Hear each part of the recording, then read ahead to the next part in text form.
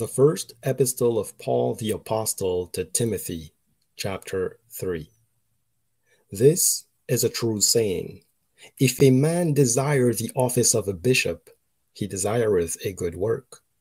A bishop then must be blameless, the husband of one wife, vigilant, sober, of good behavior, given to hospitality, apt to teach, not given to wine, no striker not greedy of filthy lucre, but patient, not a brawler, not covetous, one that ruleth well his own house, having his children in subjection with all gravity.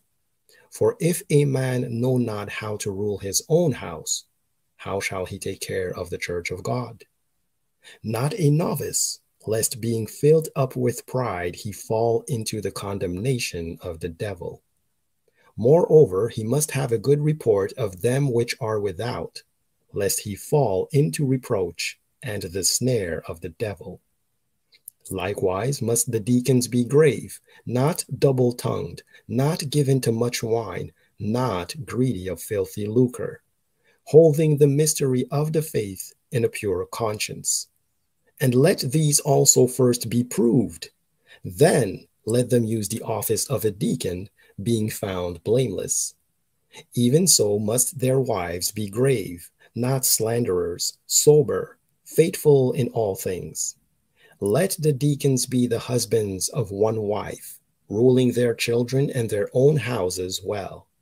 For they that have used the office of a deacon well purchase to themselves a good degree and great boldness in the faith which is in Christ Jesus. These things write I unto thee, hoping to come unto thee shortly. But if I tarry long, that thou mayest know how thou oughtest to behave thyself in the house of God, which is the church of the living God, the pillar and ground of the truth. And without controversy, great is the mystery of godliness.